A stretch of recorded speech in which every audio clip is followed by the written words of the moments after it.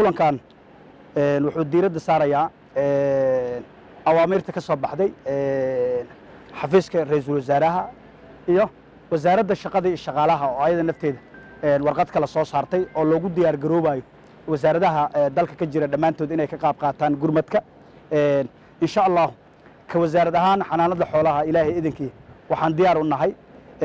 Saakana aan isu imaanay oo waxyaha iyo qaybaha kala duwan ay ka kooban tahay aan ka tashanaynaa. Wixii aan uga qayb qaadan lahayn inaan diyaarino aniga iyo wasiirka iyo aniga iyo wasiir ku-xigeenka iyo wasiiru dowlaha iyo tiimamka dhammaantood. Insha allahu tacaala ilaahayna waxaan weydiisanaynaa ummadda inta dhimatayna allah u naxariisto inta dhaawacana waxaan rajaynaynaa ilaahay inuu boogadhayo insha allahu tacaala. Haddaan u soo laabto arrimaha kale nimanka shayaadiinta ee khawaariijta ee ummaddan soomaaliyeed dhiiggeeda banaystay dee waa la socotiin wax socdo.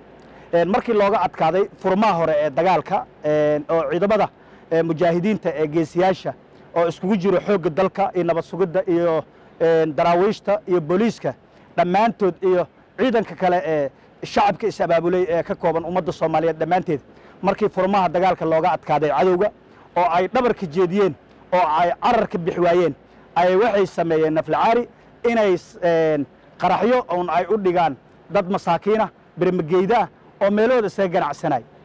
Insha allahu tacaala ilaahay kafuurraxiimkaana waa cadaabi doonaa.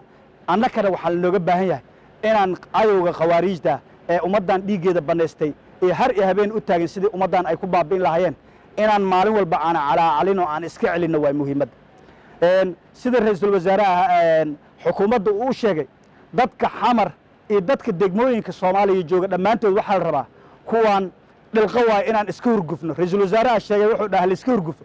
Kuwaan wax oo hurguf aan ahayn oo in laisdhaafsiya aan ahayn oo wax looga qaadi kara ma laha. Aniga waxaan leeyahay ummadda soomaaliyeed gacmaha ha isqabsadaan insha allahu tacaala gaar ahaan kuwa gobolka banaadir oo maalin walba khawaariijtu ay isku dayaydo ina maalin walba dhiiggooda si cidlah ayagoon waxbaba indaadinays inay uga soo horjeestaan si adag. Insha allahu tacaala lala diriro laamaha ammaankana si dhow loola shaqeeyo. Waxaad og tihiin qofka cadowga oo maanta dhibaatada geysanaya xaqiiqdii ma ahan mid ka imaanaya meelo fog ka imaanaya maaha dadku dhex joogaa xaafaduhu degan yahay luuqyaduu ku jiraa laabyaduu ku jiraa waxaan laga rabaa inaan ku dhiiranno oo aan qabanno aan tilmaanno oo ciidamada booliiska iyo kuwa nabad sugidda aan u tilmaanno. Annaka insha allahu tacaala wixii karaankayna inaan ka qayb qaadano diyaaraan u nahay waxaa laga rabaa qof walboo muslim ah oo soomaaliyeed oo islaama oo xamar jooga ama degmooyinka jooga in nimankan dhiigga islaamka bannaystay uu tilmaamo uu fartu ku taago. In la qariya ma ahan nin kula dhashay ma ahan nin sokeeya ma ahan kuwan argagixiso oo naflacaariya oo ummaddan dhiiggeeda bannaysato waay. War inaan tilmaanno diyaar ma u nahay? Codkiina kor mu maqlooyo kuwii aad aragtaan inaan tilmaanno diyaar ma u nahay? Aad iyo aad aa u mahadsantihiin. Waxaan rajaynaynaa ummadda soomaaliyeed dhammaanteed meel walba ay ku sugan yihiin. Gobol tuulo iyo degmo in ay hubka qaataan oo cadowga ay iska fujiyaan qofkaan hub haysaninna in wixii karaankiisa uu kula diriro. Qofka islaamka waxaa la rabaa kii qori haystan qorigiisa inuu qaato nimanka uu dilo. Kii aan qori haysaninoo tabarteeda aan lahaynna inuu ciidamada sirdoonka iyo kuwa booliiska uu la shaqeeyo oo farmuuqo u dhaho. Waa kanaa kii khawaariijta isku kay qarxin rabay kaaliha laga qabtay inuu dhaha laga rabaa. Ilaahay idinkii waxaan rajaynaynaa wakti dhow in ay soo idlaato arrimahooda.